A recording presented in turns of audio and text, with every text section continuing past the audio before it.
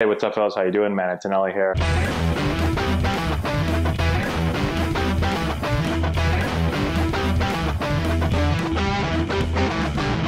Hey, what's going on, guys? How we doing? Matt Antonelli here. Today, we're looking at the best pitches of 2019 in the major leagues. Okay, so we're going to go through every single pitch type: four-seam fastball, two-seam fastball, slash sinker curveball, slider. We're going to get every single pitch except for knuckleballs, okay? Because the knuckleball kind of went extinct this year. There were very, very few knuckleballs thrown in the major leagues, okay?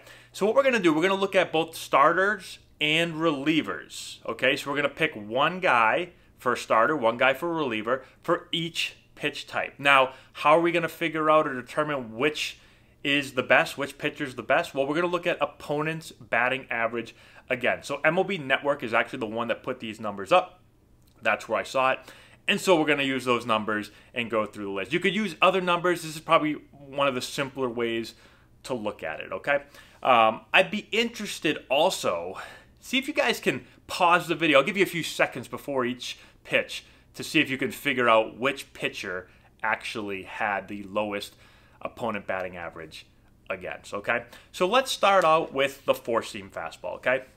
Before I tell you who it is, I'll give you a second here to figure it out. The four seam fastball has made this huge comeback, right? Four seam fastball has become a deadly pitch in the major league, especially for guys that can throw hard with high spin rates. They throw up in the zone, blowing fastballs by guys. If you think about maybe 10 years ago back, especially when I was playing, it was kind of cool back then to move the ball around, throw sinkers, live down in the zone, right? Every pitching coach in the world would say, hey, down in the zone, down in the zone, you know, hit the corners. Now they're like, hey, man, throw the fastball up in the zone, throw the four seam fastball by people. Um, so it's interesting. So let's start with starter. Uh, this one's probably an easy one, okay? This is who came to mind when I first thought of it. But the best four seam fastball last year as a starter, Gerrit Cole.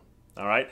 So uh, let's look at the numbers. Opponents hit 166 against Gerrit Cole's four seam fastball. Basically impossible to hit, right? He throws hard as hell, throws it up in the zone. Now he came from Pittsburgh, right? Pittsburgh wanted him to be a little bit more of like a like a two seam, like sink the ball, you know, hit the corners, throw the ball down. Then he went to Houston and they were like, no, let let the four seamer ride, man. Just blow it by, guys. It's worked out pretty well. Okay, bullpen four seam fastball. This one's a little tougher. I didn't get this one. Who is it? It's Seth Lugo. 148 opponents batting average against on his four seam fastball. Very interesting. Okay, now let's go over to the two seam slash sinker. Okay, we're going to put these two pitches together. Starter, who do you think it's going to be? I didn't get this one either, guys. Julio Teheran. All right, 188 against him. Only gave up one home run all year on a two seam slash sinker. Now I had a chance to face Julio a good amount of times, and uh, and I will say that that sinker or two seam, whatever you want to call it, is a pretty pretty tough pitch to hit. I do remember one specific at bat where he threw it to me over and over again, and I just kept swinging over it. And I typically had pretty good bat to ball skills. Um, I didn't swing and miss a whole lot in my career, even during years where I really struggled. But I just remember him throwing this thing, and I just kept swinging over it. You know, this happened to me once before. Bartolo Colon, the first time I faced Bartolo Colon, same thing. He was throwing these two seam slash sinkers, and I just kept swinging over the top of it. It looks so good, boom, and you just miss it, or you just smash it into the ground. Um, so really tough pitch to hit. Um, and for the bullpen, I didn't get this one either. Aaron Bummer, 195, throws a lot of them, almost 70% two seams uh, from him. Okay, now let's go to the cutter. The cutter, man, if you throw a good cutter, cutters are tough to hit. Cutter was really in vogue, especially again when I was playing. AAA was a huge cutter league. It was like guys would go to the big leagues and then they can't come back down and they had to figure out how to get up there and they say, well, let me just, uh, you know, maybe I don't throw hard enough, whatever. Let me just try to just cut this ball a little bit. And it's a tough pitch. It's a weird pitch that comes in because you you think you see it well, and then you go to hit it and square it up, and you, and the ball moves just enough that you get it off the end of the bat and you break your bat, or you just you know you don't get it on the sweet spot. So tough pitch. Uh, Sanchez, 188 off the cutter. as a starter. Okay, so I mean he's had he had a really really good year. Basically, um, revived his career with the cutter. Um, very interesting. Okay, bullpen. Give you a second here. I didn't get this one either. Alex Colome, 174 on the cutter. All right, and he can throw it. He throws it in. He throws it out. He moves it around really, really well. And just watching some video on him, the thing looked like a frisbee. It like come in like this and it just it was crazy how much movement it had. It almost it almost looked like a slider, but it didn't have a whole lot of depth. It just cut right across the screen like a lot. Really tough pitch. Obviously, Mariano Rivera, one of the greatest cutters of all time. He threw Rivera threw it hard as hell, right? He'd throw like 95 and it would cut over, and you know it's coming, and you still can't hit it. It's crazy. Speaking of another pitch that's uh, basically unhittable, at least for me it was, splitter. Splitter's my least favorite pitch. If a guy had a splitter, and usually, in my experience, I usually face uh, splitters. Guys that threw splitters were usually bullpen guys, but there have been some starters. Two guys that come to mind, really, when I think of splitters are Curt Schilling and Roger Clemens. They both threw splitters at like 90 miles an hour. They were unhittable. You could literally tell a guy, here comes a splitter, and you can't hit it. It's very weird. Splitter almost, it almost like looks like a knuckleball kind of. It like tumbles in, but it comes in so hard, it looks weird. It just, no matter what, like, even if I thought he was throwing it, I just would always swing over the top of it. Really, really hard to hit. My defense against a guy with a splitter is I said, okay, I'm going to swing at a fastball early. Like, I'm not getting the two strikes on this guy because I got no chance on his splitter. So, first good fastball I see, I've got to be aggressive. It doesn't even have to be a perfect fastball, just something for me to hit and put in play, and I'll do it. So, uh, starter, Chirinos, 133.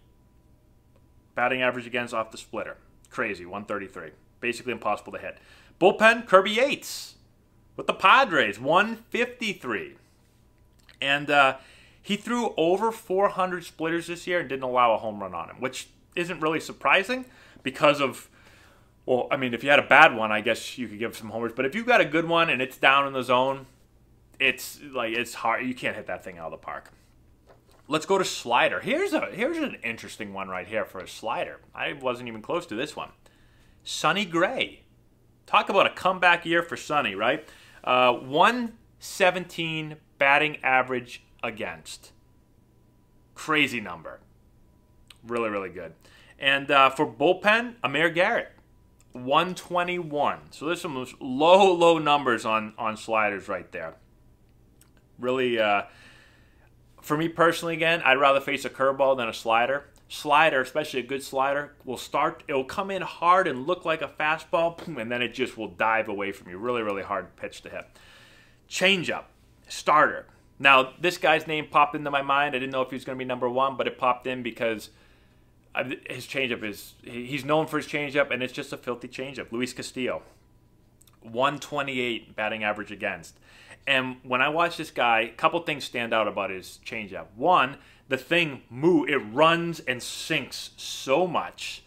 He throws it pretty hard, but he would command it. I'd watch over and over again where the catcher would set up on the black and it's boom, boom, boom, boom, just pounding it right there. Amazing command of it. And then when he wanted you to chase it, he could just move it and just run it off the plate to a left-handed hitter, basically unhittable.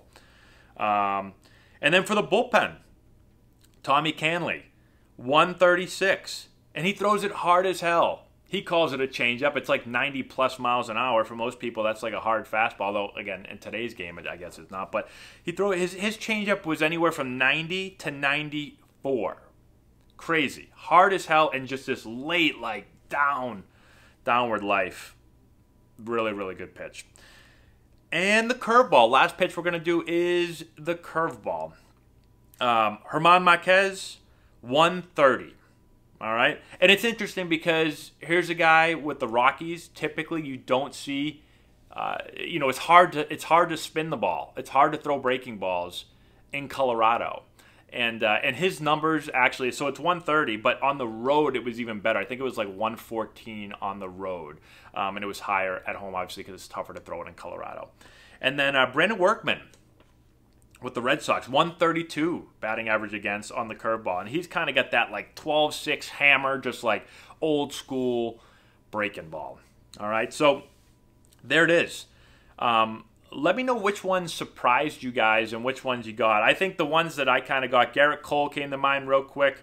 Um, Teheran didn't, but you know I knew that he had a really good one. Uh, let's see who else. Kirby Yates. I mean he's he's got a filthy splitter. Luis Castillo was one again that came to mind pretty quick. I think those were the guys that kind of popped into my head. Uh, but the other guys didn't get it. But there it is.